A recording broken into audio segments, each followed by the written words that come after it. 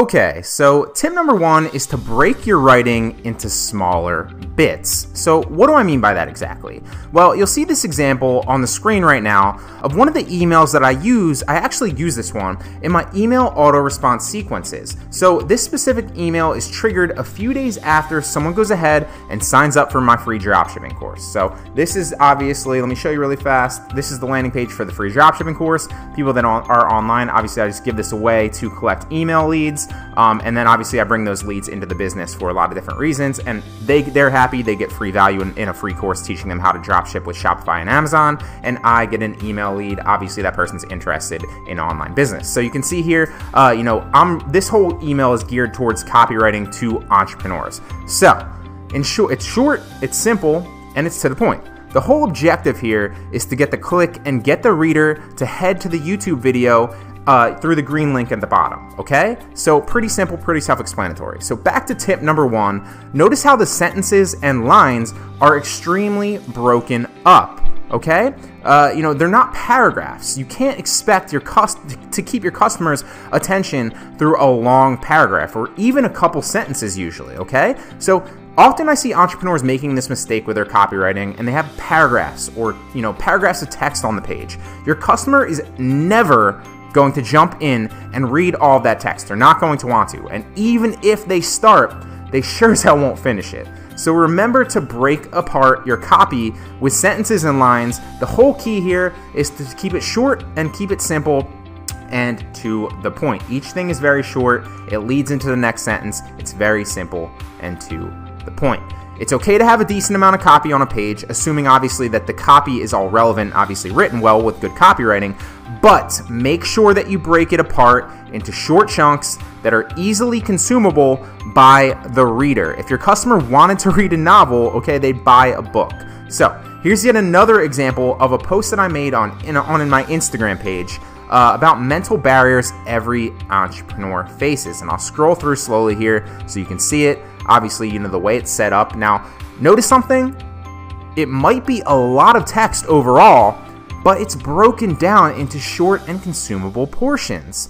I promise you that if you start implementing this copywriting tip, you will see a massive rise in the amount of people that actually read through to the end of your copy. Okay, so tip number two now, moving on, is to focus on what your customer wants. Sounds simple, right? But most people talk about me, me, me. You'll see things on, you know, website homepages when you hit a hit a landing page of a certain company online. And it's all about the business. And it might start something like, you know, we've been in business for 20 years. We've done this and we've done that and we've done the other. Here's why we're the best around. Remember this, and this is a big one. Your customers don't care. They don't care about you. They don't care about your business, and they don't care about the accomplishments that you've had in the past. What do your customers care about? They care about themselves. That's human nature. So, the moment you start to realize that if you start to talk about what your customer wants, what your customer wants, they'll be exponentially more receptive to what you have to say. It's a complete game changer. So use your copy to entice the customer and speak to their emotions. What does your target customer want? Who are they? You know what would prompt them to keep reading through your email or your sales copy or your your landing page or your ad copy? What would prompt them to click? You know what would prompt them to purchase? Put yourself in your customer's shoes and then use your copywriting to speak to who that person is. Remember put yourself in your customer's shoes and then use that copy to speak to who that person is. So Focus on your customers' problems. You know, what are they looking for? All right, so moving on. Tip number three now is going to deal with your mindset, actually. It has nothing to do with the copy as a whole, it just has to deal with your mindset. Now, this is a, a really important one, in my opinion, and one that's a complete game changer if you start to understand why. So, start approaching your copy as if you're as if selling is not a bad thing or you know even if you're selling not selling in that particular piece of writing or content stop approaching it like you're disturbing the reader or the audience. We learn you know we grow up and we learn that salesmen are bad. They get a bad rep. You know we learn that they just want our money that they do anything they'd say anything to get us to buy. But if you have a great product or a helpful piece of content and you believe that that product or content, you know, you believe in that wholeheartedly and you know that it can help people with whatever your product, service, or piece of content is, then it is your duty. I repeat, it is your duty to get that person to buy. You are doing your customer a disservice if you're not selling them with your copy. You are doing your audience a favor by giving them valuable advice. You are doing your audience a favor. I repeat, you are doing your audience a favor by sending them free, helpful information. So, the moment you start to think that way, I promise you it'll it'll come across in your writing. You'll stop coming from the angle of, you know, oh, sorry to disturb you, but you know, I'd, I'd really be grateful if you read this. You know, I don't want to step on your toes and, and, and, you know, kind of throw you off on your day. And you'll start coming more from the angle of, you know, here's a great freaking tip that's going to help you make more money. And I highly suggest that you take advantage of it. But, you know, if you don't, that's cool too.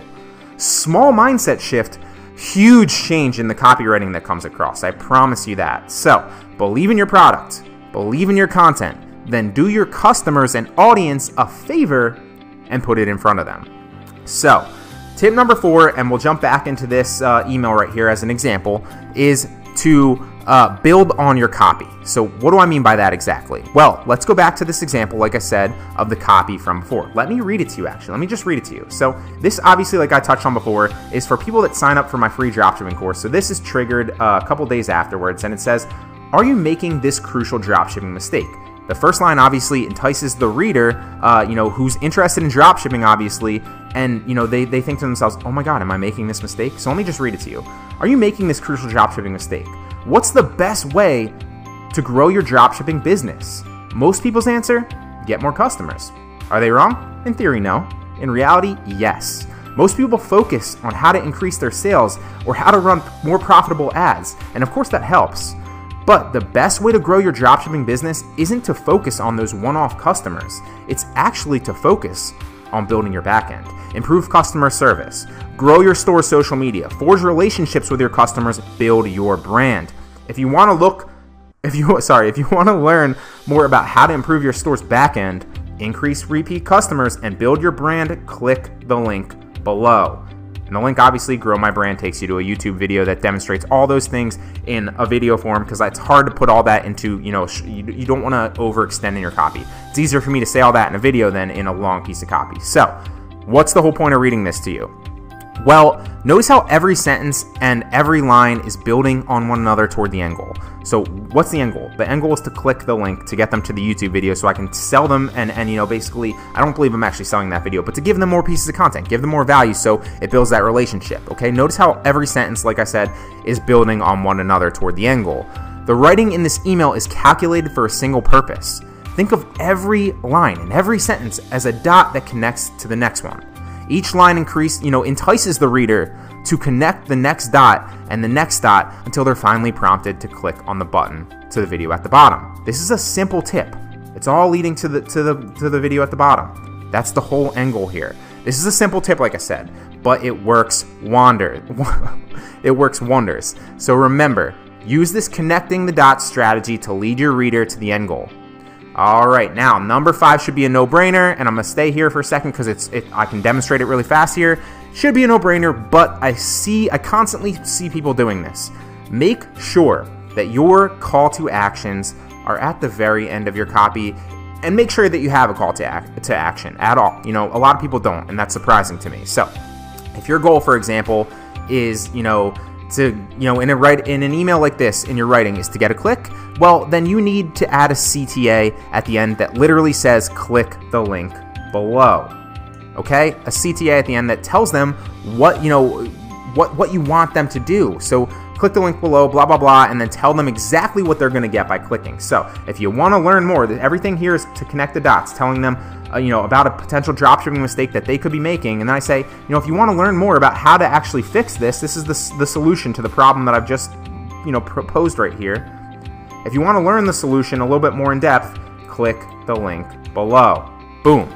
Okay? So it's pretty simple, all right? So if you have, you know, copywriting for a sales page, for an example, to go in a different tangent, maybe for an online course that you're selling, at the very end, guess what? You need to tell them to enroll in the course. You need a CTA, you need a call to action. So make sure that your copywriting has a call to, to action at the end. Your customers are smart, it's true, but don't assume that they'll know where to go or that they'll know automatically that the action that you want them to take is to click the link or to enroll in the course. You need to tell them.